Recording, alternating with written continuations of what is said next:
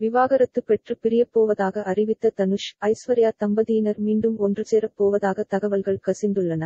கோலிவுட் முதல் ஹாலிவுட் வரை டாப் ஹீரோக்களில் ஒருவராக வலம் வந்து கொண்டிருக்கிறார் தனுஷ். தற்போது திருச்சிற்றம்பலம் வாத்தி நானே வருவேன் ஆகிய படங்களை நடித்து முடித்துள்ள தனுஷ் விரைவில் தயாரிப்பு பணிகளிலும் கவனம் செலுத்த உள்ளதாக தெரிகிறது. சிவகார்த்திகேயனின் எதிர் நீச்சல் வேலையில்லா பட்டதாரி காக்கி சட்டை காக்கா முட்டை விசாரணை நானும் ரவுடிதான் வேபி இரண்டு வடசென்னை மாரி இரண்டு ஆகிய படங்களை தனுஷ் தயாரித்திருந்தது குறிப்பிடத்தக்கது. இந்நிலையில் இவரும் ஐஸ்வர்யா ரஜினிகாந்தும் திடீரென பிரிவத்தாய் அறிவித்தது ஒட்டு ஒட்டுமொத்த திரையுலகம் மட்டுமின்றி ரசிகர்களுக்கும் அதிர்ச்சியை கொடுத்தது. இருவரையும் சேர்த்து வைக்க பேச்சுவார்த்தைகள் தொடர்ந்து நடந்து வந்ததாக கூறப்பட்டது.